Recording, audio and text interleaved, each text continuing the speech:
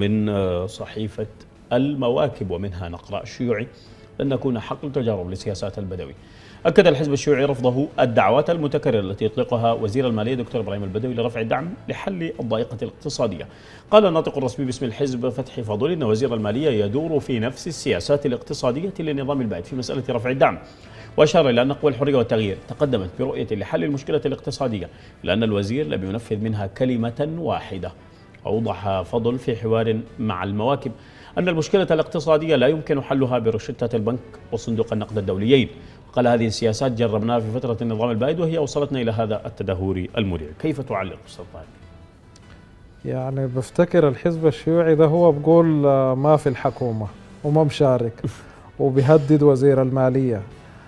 هو معارضة هو حكومة هو شنو؟ بعدين مسألة التلويح بأنه صندوق النقد صندوق النقد الدولي. المسألة دي عفى عليها الزمن. لن تحكمنا صندوق النقد الدولي. دي حاجات اتقالت في الثمانينات في الهتافات. أنا بفتكر إنه اللي عايز يعارض السياسات اللي داير يتبعها وزير المالية يقدم رؤى. ما يتقول كلام بتاع عنشة ما يقول ما حيحكمنا صندوق النقد الدولي. لا قول لي أنت عندك بدايل كده تعمل واحد اثنين ثلاثة. ادينا خطة مكتوبة.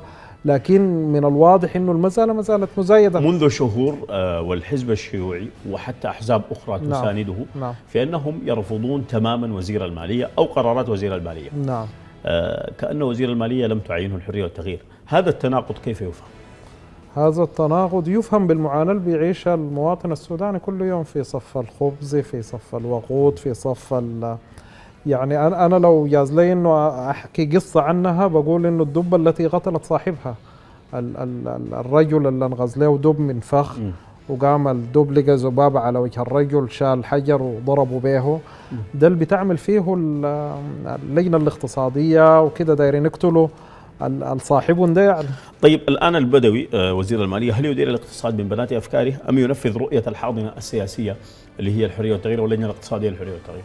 أنا بفتكر ما هي ما بنت أفكاره بقدر ما هي مجموعة من الخبرات والأفكار الاقتصادية العالمية.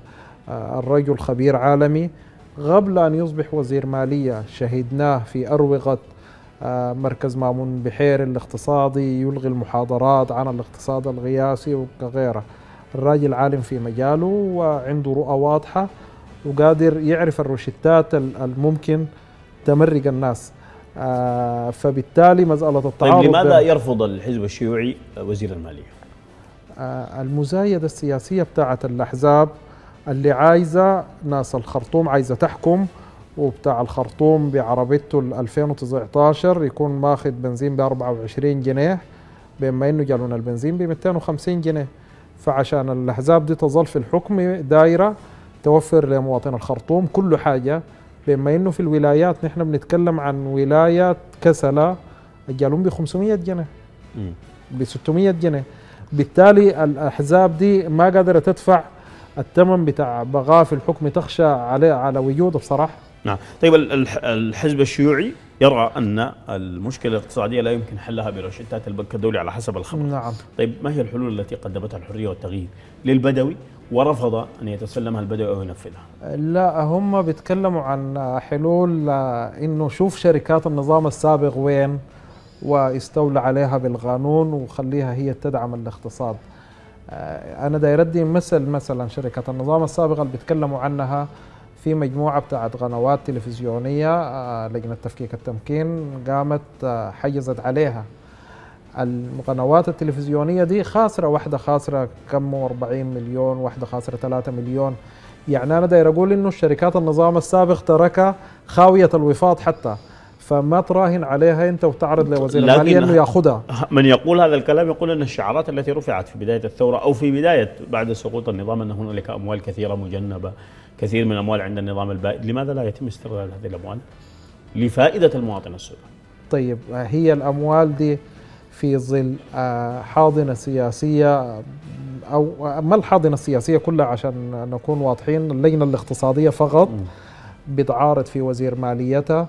وزير ماليته بيفتح جبهات في إنه يرفع الحظر واسم السودان من قائمه الدول الراعيه للإرهاب يدفع للضحايا المدمرة كول لضحايا السفارتين.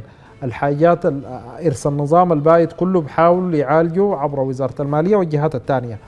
بالتالي هنا عدم توفير الدعم السياسي بيعمل لنا المشكلة دي.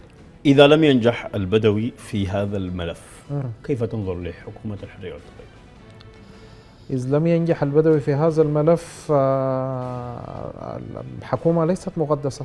يذهب تذهب الحكومة وتأتي حكومة أخرى. في ظل وجود الحكم المدني الذي لن يتنازل عليه السودان يتنازل عنه السودانيين بعد الدماء التي سكبوها.